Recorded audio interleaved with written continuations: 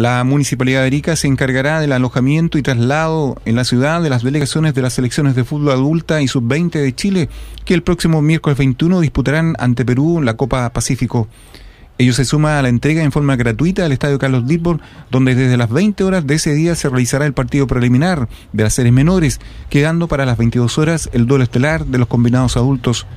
Así fue establecido durante una reunión que sostuvo el alcalde subrogante Osvaldo Abdala con Mauricio Echeverry, encargado de la NFP de la organización del encuentro en Arica, ocasión en la que también se hizo acompañar de Carlos Ferri, presidente del Club San Marcos de Arica. Bueno, ha sido una reunión principalmente para ratificar los compromisos que ha hecho la NFP en conjunto con nuestro alcalde Waldo Sancán. Eh, para poder realizar este evento cierto de la Copa del Pacífico, donde la selección de Chile va a enfrentar al elenco del Perú. Va a ser una jornada preciosa, donde queremos que toda la comunidad ariqueña ya pueda asistir y repretar el estadio, va a ser transmitido por, por la canal de televisión a todo el país. Y, en ese contexto, ¿cierto? como es un, gran acto deportivo, nosotros como municipio estamos respaldando a plenitud eh, esta actividad.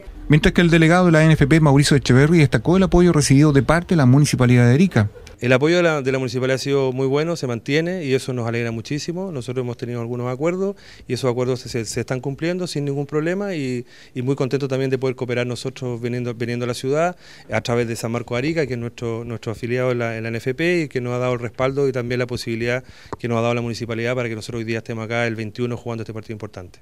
En tanto, Carlos Ferri, presidente de San Marcos, explicó en qué va a consistir la participación del club ariqueño durante este compromiso internacional. Bueno, la participación fue convencerse al presidente de la NFP para que nos mandara la, selección. Hay otro compromiso más adelante que también podría, que por octubre a lo mejor podría venir la selección. Estamos en conversaciones, el presidente lo ha cumplido y y nosotros también tenemos que brindarle toda nuestra eh, infraestructura a la NFP, ya sea con los controles para, el, día, el día del partido. Trascendió al término de esta importante reunión que está por ratificarse la presencia de Leonel Sánchez, ícono del fútbol nacional, quien en el nuevo gramado del Estadio Carlos Lidbor se le tributará un merecido homenaje tras 50 años del tercer lugar en el Mundial de Fútbol desarrollado en nuestro país, en donde Arica fue una de las subsedes.